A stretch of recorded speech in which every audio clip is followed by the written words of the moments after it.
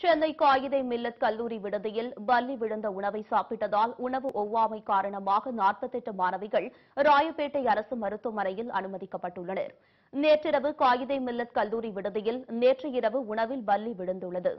இது தெரியாமல் மாணவிகளுக்கு உணவு பரிமாறப்பட்டுள்ளது. கடைசியாக சாப்பிட்ட மாணவிகளின் உணவில் பல்லி இருந்தது கண்டறியப்பட்டது. இதனால் மாணவிகள் பலருக்கு உணவு ஒவ்வாமையால் வாந்தி மற்றும் வேதி ஏற்பட்டது.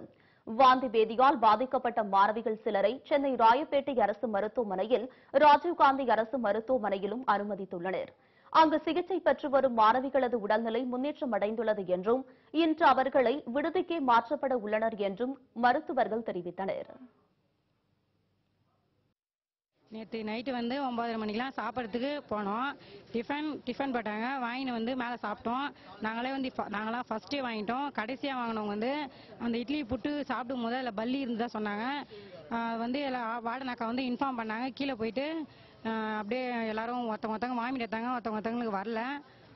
எல்லாரையும் அப்படியே ஹாஸ்பிட்டலுக்கு கூட்டின்னு வந்துட்டாங்க. இப்போ எல்லாரும் சேஃபாக இருக்கும். மவுண்ட் ரோட் பக்கத்தில் காகிதம் இல்லத் காலேஜிலேருந்து ஒரு நாற்பத்தெட்டு ஸ்டூடெண்ட்ஸ் வந்தாங்க. எல்லாமே வயிற்று வலி லூஸ் மோஷன் வாமிட்டிங் சில பேருக்கு தலைவலி சில பேருக்கு கொமட்டல் அது மாதிரி சிம்டம்ஸோடு வந்திருந்தாங்க. ஸோ ஃபுட் பாய்சனிங் சொல்லி டயக்னோஸ் பண்ணியிருக்கிறோம் அப்போ ஸ்டூடெண்ட்ஸை விசாரிச்சப்போ இட்லியில் பள்ளி இருந்தது அப்படின்னாங்க. ஸோ நாற்பத்தெட்டு பேர் இங்கே அட்மிட் ஆகிருக்காங்க கொஞ்சம் பேர் ராஜீவ்காந்தி ஹாஸ்பிட்டல் போயிருந்தா சொல்கிறாங்க மற்றபடி எல்லாமே நல்லா இருக்காங்க. நீங்கள் அநேகமாக டிஸ்சார்ஜ் ஆகிடுவாங்கல்ல